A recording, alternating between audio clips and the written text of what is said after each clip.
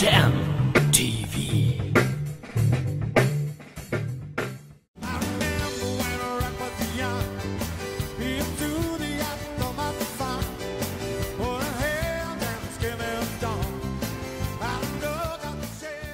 È giugno del 1972. Hérouville-en-Vexin è un piccolo borgo nel nord della Francia, non lontano da Parigi. Lì c'è un magnifico castello del XVIII secolo, un luogo che ha un'importanza storica. Si dice che Chopin ci abbia vissuto, che proprio nelle stanze di quel maniero abbia consumato la sua relazione con Georges Sand.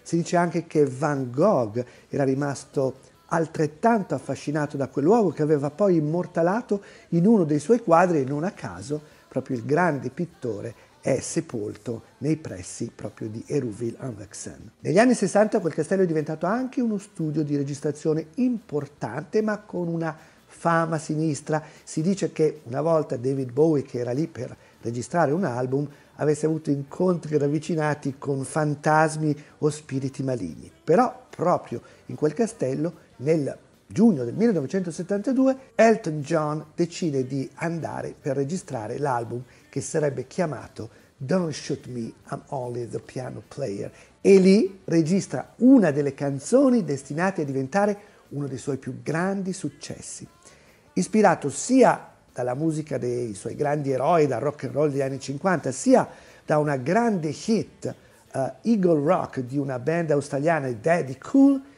mette insieme una canzone che si chiamerà Crocodile Rock e che è un tributo esplicito a Bill Haley, ai grandi maestri del rock and roll degli anni 50, tanto che nel ritornello fa una citazione uh, di un brano famosissimo, Speedy Gonzales, di Pat Boone, talmente evidente da far sì che Elton decida di venire a patto con gli autori ed editori del brano originale. In ogni caso, nel giro di pochissimo, Crocodile Rock va in testa alle classifiche e diventa uno dei grandi cavalli di battaglia del futuro baronetto inglese.